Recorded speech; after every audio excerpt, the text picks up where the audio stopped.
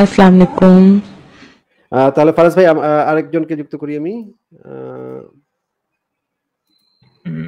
আচ্ছা মুমিন আর নাই ভাই। ফারাজ ভাই মুমিন শেষ। হ্যাঁ সেটাই তো সেটাই তো দেখছি। দেখি তাহলে ওনাকেই দেখি। জি রবিন ভাই প্লিজ একটু আনমিট করে বলুন। হ্যালো রবিন ভাই তো চলেই গেল। রিয়াদ? রিয়াদ আপনাকে যুক্ত করা হচ্ছে প্লিজ আনমিট করে বলুন। ফারাজ ভাই আমাকে ছোট্ট একটা ইনফরমেশন দেবেন? আহ, বলছিলাম কি আমি তো অ্যাকচুয়ালি কাজের ভিতরে যে একটা জায়গায় আমি ভুলে যাচ্ছে কোথায় যে পড়েছি। মানে মমিন মুসলিমরা তিন থেকে ছয় মাস কাফের বা বেধর্মীদের যেতে পারে যদি ইসলামের দাওয়াত দেন অথবা কোনো কিছু শিকার জন্য। এটা আমাকে অ্যাকচুয়ালি একজন আমার প্রতিবেশীকে একটু দেখাতে হবে এটা অ্যাকচুয়ালি কোথায়? আর একটা জিনিস হচ্ছে যে যেটা আমার মনে হয় হজরত ওমর যখন তাওরাত পড়ছিলেন নবীজি দেখার পরে নবীজি একদম অগ্নি মর্ষায় যায় বললেন, মমিন অর্থাৎ মানে কি জানি মমিনরা শুধু দিন শিক্ষা শিখবে এই দুটো ইনফরমেশন আর একটা জিনিস বলব আমি, মনে হচ্ছে সম্ভবত সুরা আজাব পড়তেছি, যেখানে নবীজির সমস্যাগুলো দূরীকরণের জন্য। ওখানে যা পড়ে আমি বুঝলাম, চাচাতো বোন, খালাতো বোন, মামাতো বোন, যত বোন আছে, আপন বোন বাদে ওইটা তো শুধু নবীজির জন্য বিয়ের পারমিশন দিয়েছে যে, আমাদের জন্য তো খালাতো বোন, মামাতো বোন, ফুফতো বোনের তো পারমিশন দিন এটা তো শুধু নবীজির দূরীকরণ প্রবলেম সেক্সুয়াল মানে প্রবলেমটা দূরীকরণের জন্য। আমি তো পড়ি এইটা বুঝলাম। আমার কি পড়াটা বোঝাটাকে ভুল হচ্ছে এই জিনিসটা যদি ক্লিয়ারিফাই করতেন। আচ্ছা আচ্ছা। আসিফ ভাই বিভার ইউ সে এনিথিং যে এই ভাই আমাকে বেশ বড় মনে একটা মেসেজ পাঠাইছিলেন। আমি আপনাকে বলছিলাম যুক্ত হইতে। আপনি যদি পারেন যুক্ত হন। আহ, আপনি ওনাকে বলতেছেন আবেগে চলেন। আহ, যদি আপনি মনে করে থাকেন আপনি আবেগে না। যুক্তি যুক্তি নিয়ে চলেন তাহলে প্লিজ দেখা যান আপনার ইসলাম ধর্মের যুক্তি কত যৌক্তিক। প্লিজ আচ্ছা। ভাই আচ্ছা রিয়াদ ভাই আপনি কয়েকদিন অপেক্ষা করেন এই বিষয়ে ভিডিও মানে অমুসলিম দেশে বসবাস করা সম্পর্কে একটা ভিডিও আমাদের পেজ থেকে আমরা আমি দিয়ে দিব কিছুদিনের মধ্যেই। সেখানে সব দলিল প্রমাণ আসলে দিয়ে দিব সেখানে আপনি কিছু মানে এক সপ্তাহ ওয়েট করেন ঠিক আছে? দুই তিন দিনের মধ্যেই আশা করি সেই ভিডিওটা দিতে পারব। আর দুই নম্বর প্রশ্নটা কি ছিল ফারাজ ভাই?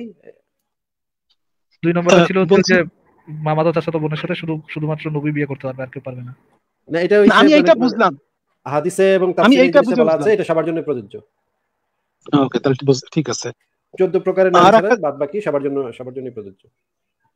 আর একটা কথা জিজ্ঞাসা করব যদি একটু একটা মিনিট সময় দেন। হ্যাঁ হ্যাঁ বলেন। বলছি যে আমাদের খলিফা মডার্ন খলিফা এরদোগান যে কাজটা করলেন উনি কি ইসলাম বিরোধী কাজ করলেন না? বা উনি সবসময় করে যাচ্ছেন ইসলাম বিরোধী কাজ? মানে ইসলাম উম্মার গোফ রাখছে সে তো গোফ রাখছে সে তো দাড়ি রাখে নাই। গোফ সেটা দাড়ি রাখে তারপরে শুট প্যান্ট পরে আসতেছে বউকে নিয়ে আসতেছে মুখ খুলে। আমার তো মনে হয় উনি সর্বপ্রথম ব্যক্তি এই মুহূর্তে উনি ইসলামকে অবমাননা করতেছে আর আমাদের মমিন ভাইরা বাংলাদেশে তো ইসলামের জান্ডা উড়াই দিচ্ছে জান্ডা দেওয়ার জন্য রেডি যাচ্ছে হ্যাঁ হ্যাঁ। ঠিক আছে তাহলে আপনাকে বিদায় জানাই রিয়াদ ভাই ভাই বিদায় নেন, আপনি তো আমি করছি, রেডি কাস্টমারের কাছে এসে গেছি। ধন্যবাদ। আমাকে একটু আপনি ই করে দেন ওইখান থেকে। আচ্ছা ঠিক আছে ভাই অনেকে তো বিদায় জানিয়ে দিলাম। আব্দুল্লাহ আল আমিন আপনাকে যুক্ত করা হয়েছে আপনি বলেন তাহলে। আসসালামু আলাইকুম। আপনার উপরে শান্তি বর্ষিত হোক। আপনার ভিডিওটা অন ছিল। আপনি যদি চান ভিডিওটা অন করে কথা বলতে পারেন। আচ্ছা আমি একটু ভিডিওটা অন রাখতে চাইতেছেন আর কি। আচ্ছা কোনো অসুবিধা আছে? না না কোনো অসুবিধা নেই। বলেন তাহলে আপনি কি বলতে চান? আচ্ছা, আমার কথা হলো যে আহ, মহাবিশ্ব সম্পর্কে আর কি। যে সারা মহাবিশ্বে তো যে শক্তি দ্বারা বা এনার্জি দ্বারা তৈরি। তা আর এটা মানে ঈশ্বর সম্পর্কিত কিছু কথা যে শক্তি তো ধ্বংস হয় না। তাই না? শক্তি তো ধ্বংস হয় না। এখন এটা- আমরা জানি যে শক্তির নিত্যতা বিধি তে আমরা জানি এটা তাই না? ভাই কি আমার কথা কি? হ্যাঁ। তাহলে তো ঈশ্বর যদি শক্তি যদি ধ্বংস না হয় তাহলে ঈশ্বর মানে শক্তি তো কেউ সৃষ্টিও করতে পারে না ধ্বংস করতে পারে না তাই না? তাহলে ঈশ্বর যদি থাকে তাহলে সমস্যা কি? ঈশ্বর জিনিসটা কি সেটাই তো এখন পর্যন্ত আমি বুঝলাম না। ঈশ্বর মানে জিনিসটা কি খায় নাকি মাথায় দেয় কি করে এটি তো এখনও বুঝলাম না। মানে আপনি কি বলতে চাচ্ছেন যে ঈশ্বর হচ্ছে আচ্ছা আমি আমি এই কোশ্চেনটা বুঝি নাই আসিফ ভাই। এই কোশ্চেনটা আমার মাথার উপর দিয়ে গেছে। পুরো মহাবিশ্ব হচ্ছে এনার্জি এবং এনার্জির একটা ফর্ম কথা ঠিক আছে আব্দুল আব্দুল্লাহ ভাই? হ্যাঁ হ্যাঁ বলেন হ্যাঁ এনার্জি এবং এনার্জির একটা ফল এটা আপনার কথা। দ্বিতীয় কথা হচ্ছে এনার্জি সৃষ্টি করা যায় না ধ্বংস করা যায় না। এটাও হ্যাঁ, আপনার কথা। আচ্ছা পুরো মহাবিশ্ব হচ্ছে এনার্জি এবং এনার্জির একটা রূপ। দুই এনার্জি সৃষ্টি করা যায় না ধ্বংস করা যায় না। তিন নম্বর কথা হচ্ছে ঈশ্বর থাকলে সমস্যা কোথায়? ঈশ্বরকেও তো একটা যদি এনার্জি ধ্বংস করা যায় না। ঈশ্বর বলতে যদি আমরা কোনো একটা সত্তা বুঝি যে সত্তা হচ্ছে সৃষ্টি করে মানে সৃষ্টিকর্তা যে সৃষ্টি করে সেটা যদি আমরা ঈশ্বর ভাবি এবং তারপরে দেখি যে মহাবিশ্ব হচ্ছে এনার্জি এবং এনার্জির একটা রূপ দুই এনার্জি সৃষ্টি করা যায় না ধ্বংস করা যায় না। তারপরে আরেকটা বিং আছে যে সৃষ্টি করতেছে এবং মহাবিশ্ব সৃষ্টি করছে। না না। এবং হ্যাঁ, এবং- ধ্বংস করবে এবং ধ্বংস করবে। না না না এখন মানে- মানে- মানে- আমিন ভাই- পড়াই দরকার। আমিন ভাই আমিন ভাই একটু নিজেকে মানে স্টপ রেখে একটু ধৈর্য ধরেন হ্যাঁ? একটু আগে আচ্ছা, জিনিসটা আচ্ছা, বোঝেন ঠিক আছে? আপনার মানে প্রপোজিশন আপনার প্রস্তাবনার এক নম্বর প্রস্তাবনাটা হচ্ছে শক্তির সৃষ্টি হয় না বিনাশ হয় না। শক্তি শুধুমাত্র এক রূপ থেকে আরেক রূপে পরিবর্তন হতে পারে মাত্র। এটা হচ্ছে আপনার এক নম্বর প্রস্তাবনা। দুই নম্বর। প্রস্তাবনা হচ্ছে আমাদের মহাবিশ্বর হচ্ছে শক্তির একটা রূপ। যে শক্তিটার এক নম্বর প্রস্তাবনাটা কি ছিল? এই শক্তিটার সৃষ্টিও সম্ভব না ধ্বংস সম্ভব না শুধু রূপ পরিবর্তন সম্ভব। দুই নম্বরটা ছিল আমাদের এই মহাবিশ্বটা হচ্ছে সেই শক্তির একটা রূপ। তিন নম্বরে এসে আপনি বলতেছেন যে এই মহাবিশ্বটাকে একটা সত্তা দরকার যে সত্তাটা এই মহাবিশ্বটাকে সৃষ্টি করছে। এবং সেই সত্তাটাই আবার এই মহাবিশ্বটাকে ধ্বংস করবে। না না আমি এই তৃতীয় নাম্বারটার জন্য কিছু বলতে চাই। দ্বিতীয় নম্বরটা তো আপনি ঈশ্বর শব্দটা দ্বারা তো সৃষ্টিকর্তাই বুঝাইছেন তাই না? এছাড়া তো আর কিছু বোঝান নাই। সৃষ্টিকর্তা বলতে চাইতেছি না এখন। মানে বলতে চাইতেছি যে ঈশ্বর বলতে তো ঈশ্বর বলতে তো সৃষ্টিকর্তাই বোঝায় ভাই। ঈশ্বর বলতে তো সৃষ্টিকর্তা ছাড়া আর কিছু বোঝায় না। ভাই ঈশ্বর বলতে কি সৃষ্টিকর্তা ছাড়া আর কিছু বোঝায়? আহ, মানে আপনি ঈশ্বর বলতে কি এমন কাউকে বোঝাচ্ছেন যে সৃষ্টি করে না কিন্তু শুধু পরিচালনা করে এরকম কিছু? আমি বলতে চাইতেছি যে যদি কোনো মানে বিশ্বজগতের মধ্যে যদি এমন কিছু জিনিস থাকে যা ধ্বংস করা যায় না বা সৃষ্টি করা যায় না এর মধ্যে এনার্জি বা শক্তি তাহলে এটা যদি থাকে ঈশ্বরের মধ্যে আলামিন ভাই আলামিন ভাই এটা যদি থাকে যে মহাবিশ্বে শক্তির কোনো ধ্বংস নাই সৃষ্টি নেই তার মানে তো সৃষ্টিকর্তার তো কোনো প্রয়োজনই তাহলে এখানে নাই কনসেপ্টের কোনো প্রয়োজনই এখানে নাই কারণ অলরেডি শক্তির কোনো ধ্বংস হয় না সৃষ্টি হয় না এটা তো আছে এটা থাকলে এইটা যদি সত্য হয় তাহলে তো ঈশ্বর বলে কোনো সত্তা সৃষ্টিকর্তা সত্তার কোনো প্রয়োজনই এনার্জি নেই? তাহলে যে আচ্ছা, সৃষ্টিগুলো আছে এনার্জি এবং এনার্জির ফর্মই তো হচ্ছে পদার্থ তাই না? এনার্জির। আলাদা একটা ফর্মই তো হচ্ছে পদার্থ। এনার্জির ধ্বংস সৃষ্টি ও ধ্বংস নাই মানে কি? পদার্থের ধ্বংস ও সৃষ্টি নাই। সেটা এক রূপ থেকে আরেক রূপে কি হয়? রূপান্তরিত করা যায় শুধুমাত্র তাই না? ঠিক আছে ভাই, কথাটা? আমি কিছু কিছু বলতে চাই। যদি যদি কথাটা এটাই হয় যে এনার্জি এবং পদার্থ এই দুটাই সৃষ্টি করা যায় না ধ্বংস করা যায় না এক রূপ থেকে আরেকটা রূপে রূপান্তরিত হয় মাত্র তাহলে সৃষ্টিকর্তা কি সৃষ্টি করছে?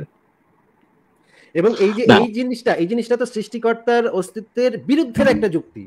আলামিন ভাই আপনি ভালো করে বোঝেন। 100% হ্যাঁ এটা তো হচ্ছে সৃষ্টিকর্তা বলে কিছু আছে। এটা সম্পূর্ণ বিরুদ্ধ একটা যুক্তি যে শক্তির সৃষ্টিও নাই বিনাশও নাই। এইটা দিয়ে যদি আপনি সৃষ্টিকর্তাকে প্রমাণ করতে যান তাহলে মানে এটা কেমনে সম্ভব? আমি তো বুঝতেছি না। না এখন আমার এটা তো এটাকে দিয়ে আরও এটা প্রুভ হয় যে সৃষ্টিকর্তার কোনো প্রয়োজন এখানে নাই। একদম ইনভ্যালিড সৃষ্টিকর্তা বলে কোনো কিছু থাকাটাই ইনভ্যালিড কারণ অলরেডি শক্তি আছে যে জিনিসটা সৃষ্টিও নেই বিনাশও নাই। এরপরে আর কেন সৃষ্টিকর্তা লাগবে? যদি একটা শক্তি থাকে এই শক্তিটার সৃষ্টিও নাই মানে সৃষ্টিও নেই বিনাশও নাই তাহলে এইটাকে সৃষ্টি কে করবে? এটাকে তো কেউ সৃষ্টি করতে পারবে না। এটা তো সৃষ্টি নেই বিনাশী নেই। আচ্ছা তাহলে এই শক্তিটা যদি কোনো সৃষ্টি করা না লাগল তাহলে নিশ্চয়ই এমন কোনো কিছু থাকতে পারে ভাই আপনি তো শুরুতে এসে এই রুলটাই আমাদেরকে বললেন যে শক্তির সৃষ্টি নেই শুরু মানে শেষও নাই বিনাশও নাই উদ্ভব সৃষ্টিও নাই। তাহলে এই রুলটা তো আপনি আমাদেরকে শুনাইলেন তাই না? এই রুল অনুসারেই তো সৃষ্টি করতে বলে কিছু থাকতে পারে না। না, আচ্ছা ঠিক আছে। এই কথাটা ঠিক আছে। কিন্তু আমি বলতে চাইতেছি বংশ আছে। হ্যালো ভাই আমি একটা কথা বলতে চাই। বংশ আছে নাকি এখন? হ্যালো হ্যাঁ হ্যাঁ শোনা যাচ্ছে সমস্যা নেই শুনতে পাচ্ছেন হ্যাঁ ভাই আমার কথা হলো যে যদি মাত্র একটা বস্তু যে শক্তি ধ্বংস নাই বিনাশ বিনাশ নাই কিন্তু এই টাইপের আরও কিছু জিনিস হয়তো থাকতে পারে যে তাদের ধ্বংস নাই বিনাশ নাই। সেটার কি প্রমাণ আছে? নাকি প্রমাণ ছাড়াই? না না না ঠিক আছে প্রমাণ নাই কিন্তু প্রমাণ তো দিনে দিনে হয়। এখন ওই জিনিস নিজের যার হচ্ছে শুরু নাই শেষ নাই এরকম আরও জিনিস থাকতে পারে বলতেছেন না? সেই জিনিসটা তাহলে শক্তি এবং এনার্জির মতোই আনকনসিয়াস হইতে পারে হইতে পারে না? না ঠিক আছে মানে আমি বলতেছি যে এদের মতো তো আরও হইতে- পারে। কিনা আলামিন ভাই? হুম হইতে পারে। তাহলে ওই পদার্থ থাকুক না থাকুক তাতে কি আব্দুল্লাহ যায় আসে? আচ্ছা আচ্ছা তাহলে এই এই কারণে কি আমরা ঈশ্বরের ধারণাটাকে রাখতে পারি না? কোথায়? মানে যে এনার্জি কোনো একটা ধারণা- রাখতে হলে সেটা সপক্ষে তো কিছু একটা যুক্তি প্রমাণ লাগে তাই না? আপনার মনে হইল গাধার মতো কথা? এটা কি গাধার মতো কথা বললেন? কোথায় আপনি কোথায় একটু কথা বুঝেন একটু একটু কথা বুঝেন আলামিন ভাই কথা বুঝেন। হ্যাঁ, যেখানে আপনি বলতেছেন আপনি বলতেছেন এনার্জি ধ্বংস করা যায় না সৃষ্টি করা যায় না। এনার্জি হচ্ছে পদার্থ হচ্ছে এনার্জির একটা রূপ।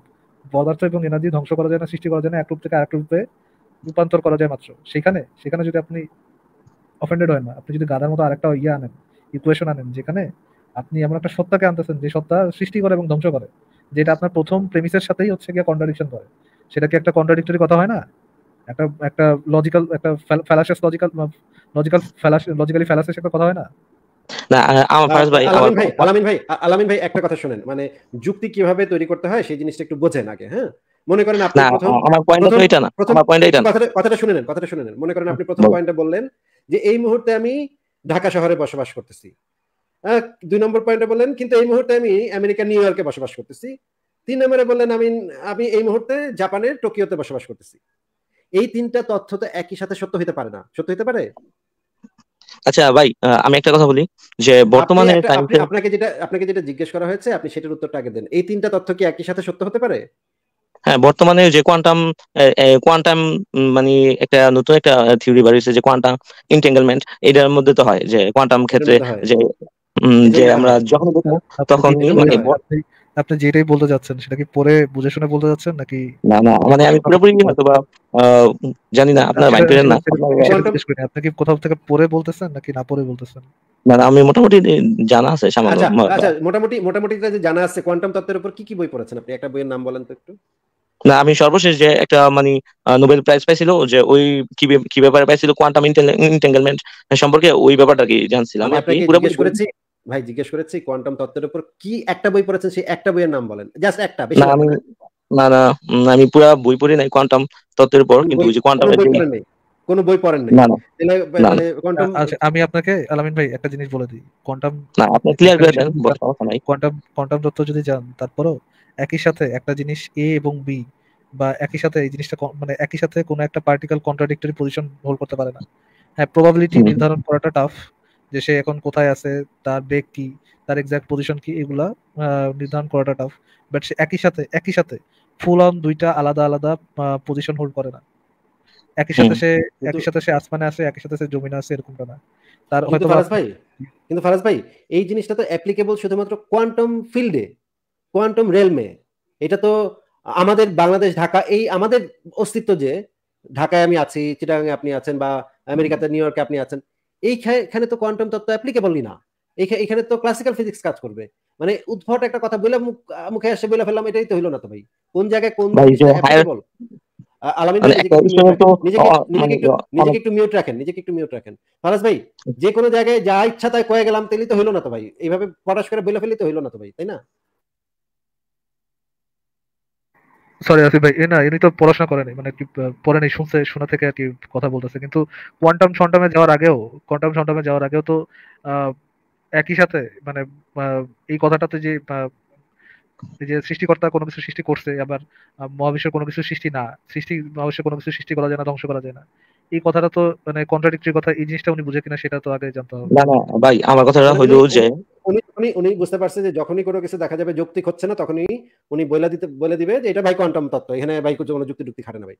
কিন্তু এই আর জন্য ভাই আমি তো এটা বলতে এই না আমার কোন কোয়ান্টাম সম্পর্কে উনি শুনছেন পড়েন নাই শোনা কথা নিয়ে আওড়াচ্ছেন আচ্ছা ভাই ওইটার কথা উনি কোথা থেকে শুনছে যে কোয়ান্টাম ফিল্ডে এমন এমন ঘটনা ঘটে যেটা আমাদের বাস্তব জগতের যে আমাদের ক্লাসিক্যাল ফিজিক্সের যে সূত্রগুলো সেখানে কাজ করে না, এটা কোথা থেকে শুনছে? শুনে এখন যে কোনো জায়গায় কোয়ান্টাম তত্ত্ব ঢুকাই দিচ্ছে সে হ্যাঁ? মনে করেন বাজারে রিক্সাওয়ালা জিজ্ঞেস করতেছে যে, কত যাবেন নাকি? এখানে যাবেন নাকি? নিউ মার্কেট যাবেন নাকি? কয় হ্যাঁ একশো টাকা, উঠেন। না মানে তিরিশ, বিশ টাকা দিব। এখন রিক্সাওয়ালা চেতা গেছে এখন বলতেছে, ভাই কোয়ান্টাম তত্ত্বে বিশ টাকা কোয়ান্টাম ফিল্ডে কিন্তু এটার ভাড়া হচ্ছে বিশ টাকা, বুঝছেন?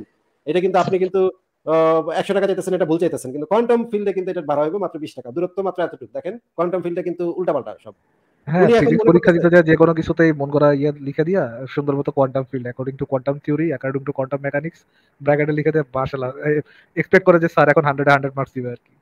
মনে করেন ফারাজ ভাই মানে অঙ্ক পরীক্ষার প্রশ্ন আসছে প- পনেরো আর পনেরো যোগ করলে কত হয়? উনি লিখে আসছে ছত্রিশ হ্যাঁ? "বাড়া, কোয়ান্টাম থিওরি বেড়া বেড়া বা ছাগল তুই ছত্রিশ লেখছিস কেন? উনি উনি বলতেছে ব্যাখ্যা দিচ্ছে। ভাই কোয়ান্টাম ফিল্ড বুঝতে হবে আপনার বুঝছেন? আপনার কোয়ান্টাম রেলমে যেতে হবে। এখানে গিয়ে দেখবেন আপনি ওখানে কিন্তু সবকিছু উল্টা পাল্টা বুঝছেন? এখানে কিন্তু পনেরো প্লাস পনেরো ইজুকালটা ছত্রিশ হয়ে গেছে বুঝছেন? আচ্ছা আলামিন সাহেব আপনি কি এটা ভাবছেন? যে মানে মানে আমরা যখন মনে করেন আপনাকে পরীক্ষা আসছে ত্রিভুজের তিন কোণের সমষ্টি কত ডিগ্রি? আপনি ভুল করে লিখে আসছেন ত্রিভুজের তিন কোণের সমষ্টি তিনশো ষাট ডিগ্রি বা তিনশো সত্তর ডিগ্রি এটা লিখে আসছেন। এখন আপনাকে টিচার ধরছে। এখন যদি আপনি বলেন যে কোয়ান্টাম জগতে কিন্তু ভাই এটা তিনশো সত্তর হইতেও পারে ভাই আমি জানি না হইতেও পারে। এই উত্তর যদি আপনি দেন তাহলে কি আপনি সেটার জন্য কোনো মার্ক পাবেন বলে মনে করেন? আচ্ছা ভাই এটা তো একটা আলোচনা তাই না? আলোচনার মধ্যে তো একটা প্রশ্ন উত্থাপন পারে। না না এটা আলোচনা- হইতে পারে, আপনারা অবশ্যই বলেন। হতে পারে। আলোচনার মধ্যে তো লজিক আর রিজনিং রাখা লাগবে। না ভাই আলোচনার মধ্যে ইলজিক ব্যাপার থাকতে পারে এটা আবার সলভ হইব। যে কোনো আগডুম বাগডুম আলোচনা বা ইরাশনাল আলোচনা ওটা আমাদের দেখাইতে হবে না যে এখানে একটা ইরাশনাল আলোচনা। ইরাশনাল কথা হচ্ছে। আমরা কি আপনাকে ফারুক ভাই, আমার একটা প্রশ্ন আছে প্রশ্নটা একটা- একটা সেকেন্ড শুনেন। আমরা কি আপনাকে পয়েন্ট আউট করে দেয়নি যে আপনি কোনখানে ইরাশনাল কথা বলতেছেন? কোনখানে আপনি কন্ট্রাডিক্টরি কথা বলতেছেন? আমরা কি আপনাকে পয়েন্ট আউট করে দেয়নি? আচ্ছা আমার কথাটা ভাই একটু আলামিন আলামিন আমার কথাটা কথাটার অ্যান্সার করেন দিছি কিনা? মাথায় উঠেন না আমি কি দিছি? আপনাকে পয়েন্ট আউট করে দিছি? আলামিন সাহেব? যে পয়েন্টটা দিছেন এটার কথা ব্যাপারে কথা বলতে পয়েন্টটা চাই দিয়েছি পয়েন্টটা দিয়েছি কিনা? নাকি হ্যাঁ বা না বলেন পয়েন্টটা হ্যাঁ দিয়েছি। আমি- দেওয়ার পর আপনি সেটা অ্যাড্রেস করছেন নাকি? আপনি অন্য জায়গায় যাওয়ার চেষ্টা করছেন? না আমি বলতে চাইছিলাম যে আরেকটা যদি হইতে পারে। অন্যদিকে যাচ্ছেন আপনি কি আচ্ছা, আপনি অ্যাড্রেস করছেন নাকি অন্যদিকে যাচ্ছেন? অন্যদিকে যাওয়ার চেষ্টা আচ্ছা করছেন। আচ্ছা হুম, চেষ্টা করছিলাম। এখন আবার পয়েন্টে আলোচনার মধ্যে না আপনি না আপনি লজিক রাখতেছেন না আপনি ইয়ে রাখতেছেন অনেস্টি রাখতেছেন। যেখানে আপনার একটা পয়েন্ট নিয়ে আমরা ধরাই দিলাম আপনার নিজের উপস্থাপিত পয়েন্ট কোথায় কন্ট্রাডিকশন এটা ধরাই দিলাম। আপনি ওটা অ্যাড্রেস না করে অন্য দিকে- অন্যদিকে চলে যাচ্ছেন। পুরো আচ্ছা ভাই, আলোচনার আমি পর আবার- আপনি লাগাচ্ছেন ভাই আপনি বলতেছেন আপনাকে বলতে দেওয়া হচ্ছে না বা আপনি বলতে পারতেছেন না আলোচনার সময় আপনাকে হিউমিলেট করা কেন করা হচ্ছে? আপনার নিজের কাজের জন্যই করা হচ্ছে। আপনি যদি সেটা অ্যাড্রেস করতেন ভদ্রলোকের মতো। আচ্ছা ভাই আপনি এখানে ভুলটা ধরলেন আচ্ছা দেখে একটু ভেবে দেখি যে এটা ঠিক বলছি কিনা। আলোচনা আচ্ছা করা যেত, ভালোভাবে আলোচনা করা যেত কিন্তু আপনি তো এটা- আপনি এখনও আপনার ইয়েটা ধরতে পারতেছেন না মানে আপনি আচ্ছা আমি বলছি আমি বলছি ভাই আমি বলছি কি? আমি বলছি আলামিন আলামিন আপনাকে আবার আমি জিজ্ঞেস করতেছি যে একই সাথে আপনি বললেন যে আমি এখন এই মুহূর্তে ঢাকায় আছি। একই সাথে বললেন আমি এই মুহূর্তে নিউ ইয়র্কে আছি। একই সাথে বললেন আমি এই মুহূর্তে টোকিওতে আছি। এই একই মুহূর্তে একজন মানুষের পক্ষে তিনটা দেশে অবস্থান করা সম্ভব কিনা? যখন আমি আপনাকে এই প্রশ্নটা করলাম তখন আপনি এমন ভাবছেন যে এমন এমন একটা চালাকি মার্কা কথা কমু। একেবারে মানে ভাই কোয়ান্টাম ফিল্ডে কিন্তু এটা সম্ভব ভাই হ্যাঁ। ভাই কোয়ান্টাম আমি ড্যাম শিওর ড্যাম শিওর আমি যদি আলামিন সাহেবকে এটা রেফারেন্স দেখাতে পারি জীবনও পারবে না জীবনও পারবে মানে- ইম্পসিবল এটা সম্ভব না কারণ ফারাজ ভাই কারণ হচ্ছে গিয়ে কোয়ান্টাম ফিল্ডটা ডিফারেন্ট এটা তো আমাদের মানে এই জগৎ না। কোয়ান্টাম ফিল্ড মানে হচ্ছে গিয়ে সেটা ক্ষুদ্রাতি ক্ষুদ্র জায়গাতে সেটা অ্যাপ্লিকেবল এই আমি ওই জিনিসটা অ্যাস মানে ওই জিনিসটা অ্যাড্রেসও করতেছি না। তার ওটা সঠিক না বল তার তার দাবিটা সঠিক না বল ওটা অ্যাড্রেসও করতেছি না। এবং যদি আমাকে অ্যাড্রেস করতে হয় অফকোর্স ভুল। কিন্তু আমি শুধুমাত্র এটা যদি দেখাইতে বলি তাকে যে এটা একই সাথে করতে পারে এটা সে কোথা থেকে পড়ছে এই জিনিসটা যদি সে দেখাইতে বলি আমি ড্যাম শিওর সে পারবে না। পারবে না। আচ্ছা ঠিক আছে আমরা একটা আমরা একটা আচ্ছা, দেই, আমরা একটা স্কোপ দেই। দেখি আলামিন আলামিন আপনি একটু দেখান তো যে কোয়ান্টাম মানে লেভেলে এটা কীভাবে সম্ভব? কোন জায়গায় কোন বইতে লেখা আছে? এটা পাইছেন কোথায়? বলেন তো দেখেন তো। না আচ্ছা ভাই রেফারেন্স তো আমি খুঁজলে হয়তো বা পাইতে পারি। এক- এক- একটু আমাদেরকে দেখান। এখন একটু খুঁজে দেখান। ভাই এখন একটু সময় একটু সময় লাগবে মিনিট সময় রাখতেছি সমস্যা নেই খুঁজে দেখেন। হ্যাঁ ওই পাঁচ মিনিটের মধ্যে একটু খুঁজে দেখান। আচ্ছা ভাই এখন হয়তো বা একটু দেখাইতে আমার একটু প্রবলেম হইব। কিন্তু যে আপনারা তো মোটামুটি পড়াশোনা করেন। আপনার কতক্ষণ লাগতে পারে? কতক্ষণ লাগতে পারে? কতক্ষণ লাগতে পারে? আমরা যাব না অন্য কোনো দিকে যাব না আমরা। লাভ নাই হ্যাঁ? এনি বয় থাকব আমরা। এই যে আপনি যে বললেন যে এই যে কোয়ান্টাম আমরা দরকার হলে আপনাকে স্টেজে বসে আমরা অন্যজনের সাথে কথা বলব। আধা ঘণ্টা স্টেজে বসে হ্যাঁ। আপনার যদি আধা ঘন্টাও লাগে স্টেজে বসে থেকে আমরা অন্যজনের সাথে কথা বলব। পরে যখন আপনি ইয়েটা পাবেন রেফারেন্সটা পাবেন তারপরে নেক্সট আলোচনা করব কোনো সমস্যা নেই। কিন্তু অন্য কোনো দিকে যাব না। অন্য আলোচনা অন্য মোড় ঘুরতে দিব না। হ্যাঁ, এখানেই থাকতে হবে। আপনি যত কতক্ষণ লাগবে এটা আপনি বলেন। টাইম কতক্ষণ লাগবে এটা খুঁজে বের করতে রেফারেন্সটা আচ্ছা ভাই রেফারেন্সটা কি আপনাদের খুবই জরুরি? আর main কথা হইল যে- আপনি একটা কথা একটা দাবি করবেন ওটা ওটা রেফারেন্স দিবেন না? আচ্ছা ঠিক আছে আমার কথা কোন- পাগল বিজ্ঞানী কোন পাগল বিজ্ঞানী কোন টাইপের গাঞ্জা খায় এই ধরনের কথা বলছে এটা তো আমাদের দেখতে হবে। For for example for example ধরেন আপনারা কেউ এসে বলে যে রাস্তায় ধরে রাস্তাঘাটে কেউ যদি আপনারা যে বলে যে আহ, আর সে তার সে আপনার বাবা। আপনি কি প্রমাণ টমান চান না নাকি? আপনি বলেন রেফারেন্স কি প্রমাণ কি আমার খুব জরুরি খুব দরকার প্রমাণটা? না বলে ফেলি তাকে সে যেহেতু দাবি করছে তার আমি ডাডি ডাডি নামে ডেকে ফেলি। এরকম কি করেন নাকি প্রমাণ চান? যে কোনো আচ্ছা। প্রমাণ চান। ভাই আচ্ছা ঠিক আছে আমি এই মুহূর্তে দিতে পারতেছি না। ফারাজ ভাই প্রমাণ চাইলে সেই বাবাটা আবার বলবে কি কোয়ান্টাম লেভেলে আমি তোর বাবা। এটা চিন্তা করেন কোয়ান্টাম লেভেলে বাবা। পারে। আমি আমি তোর quantum daddy papa quantum papa বলে ডাকবি এখন থেকে আমাকে। আচ্ছা ভাই, কোয়ান্টাম কোয়ান্টাম মানে কোয়ান্টাম তত্ত্ব কোন জায়গায় অ্যাপ্লিকেবল কোন জায়গায় অ্যাপ্লিকেবল অন্তত এইটুকু কি আপনি জানেন? ভাই আচ্ছা ওইটার কথা বাদ দিলাম থাকুক ওইটা বলছি ওইটা বাদ। আমি তো এখান থেকে ধরবো না তো ভাই। আপনি যতক্ষণ পর্যন্ত আপনি না বলবেন যে এই জিনিসটা আমি ভাই কোয়ান্টাম তত্ত্ব আমি কিছু জানি না বা পড়ি নাই আমি মনের খুশিতে বলে ফেলাইছি এটা ভুলে আচ্ছা যাই হোক ভাই মানে কোয়ান্টাম যে থিওরির ব্যাপারটা যে আমার যতটুকু পড়া আছে এগুলা আরও পড়তে দিব তারপরে আমি বলতে হচ্ছে ব্যাপার। আমি এখন হ্যাঁ, ভাই আমার যে- কথাটা আপনি বলছেন সেই কথাটা যে ভুল বলছেন সেটা তো আপনি বলতে হবে তারপর আমরা আগের সামনের দিকে বাড়বো তাই না? বলেন যে আমি ভুল আচ্ছা, বলছি এই কথাটা বলাটা আমার অযৌক্তিক কথা হয়েছে। এটা বলেন তারপর আচ্ছা ভাই আমি- করব। বলেন যে আচ্ছা, আপনি ঠিক না পড়েই একটা দাবি করে ফেলছিলাম এই ভাই আমি সরি শেষ। আচ্ছা আমি তো জানি যে আপনাদের সাথে একটা কথা ব্যাপার বলা যায় যে আপনারা আবার একটা কোন- বলেন যে বল- একটা। আপনাদের সাথে এত সুন্দরভাবে কথা বললে আপনারা হয়তো এটা বুঝবেন বুঝে তারপরে যাবে ভাইয়া কিন্তু আপনাকে যেটা বলতে বলছে সেটা তো বলেন নাই। বলেন যে আপনি একটা জিনিস না জেনে না জেনে বলে ফেলছেন এবং এটা একটা ব্যাপার আর কি সম্পর্কে একটা একটা আর্টিকেল করছিলাম কথা বলে ভালো লাগল। আশা করি ভবিষ্যতে আবার কথা হবে। ঠিক আছে আচ্ছা আচ্ছা ঠিক আছে। ঠিক আছে এই কথা বারবার বলতে হয়। পোলাপাইন মানুষ। বললাম তাকে তার কথাটা অ্যাড্রেস করতে। ছোট পোলাপাইন বকাও দেওয়া যাবে না। তার কথা বসে বসে শুনতে হবে। আচ্ছা